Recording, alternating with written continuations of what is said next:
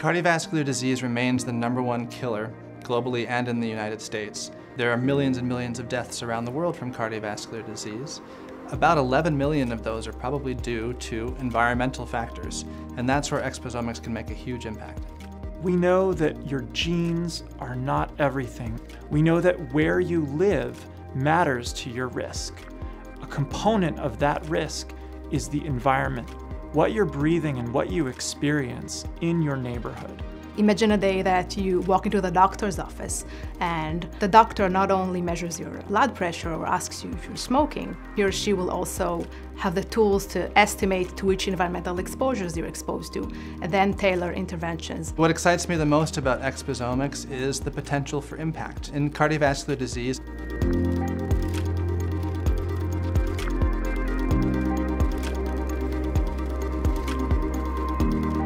Exposomics is the study of environmental exposures on individuals and populations and how we can use that understanding to improve health outcomes. We're very interested in understanding how air pollution may precipitate heart failure, why it causes heart failure, how do we prove it.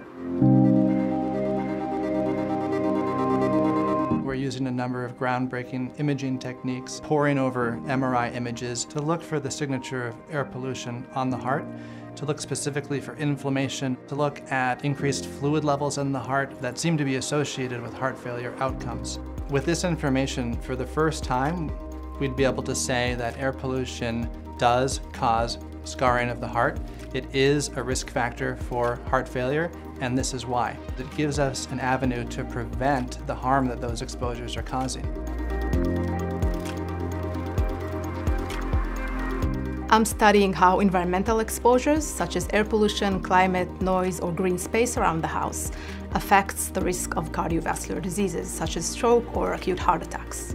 We look at sound in the environment because it can induce stress and lack of sleep and therefore affect cardiovascular risk. We're studying climate exposures, which are key factors in cardiovascular research.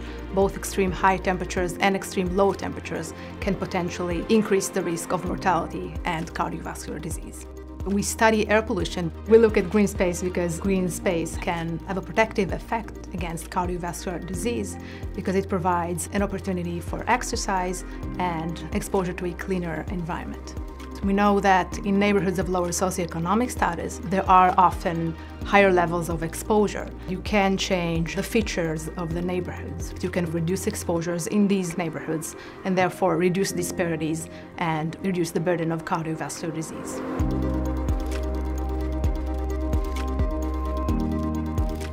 A lot of my work has been to understand the patterns of exposure instead of assuming that everyone is exposed to the same thing, really diving deep at trying to reconstruct what people have breathed in or what they've experienced.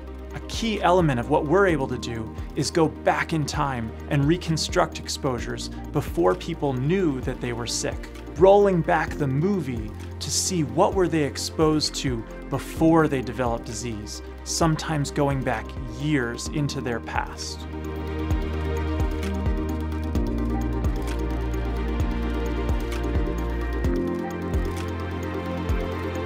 It's important that we're able to reconstruct those peak exposures of a progression or advanced cardiovascular disease that can lead to bad outcomes like heart attacks and strokes.